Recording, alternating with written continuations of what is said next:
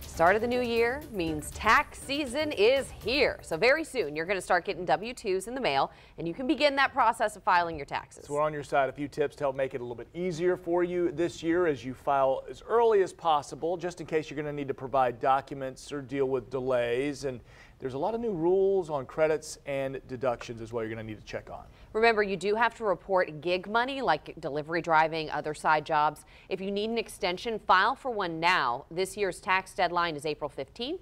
If you do get an extension, that deadline is October 15th. What about flounder gigging? Do I have to report that? Flounder gigging oh, on the side? Only to FWC, I guess, right? I guess so. You got to be within the slot.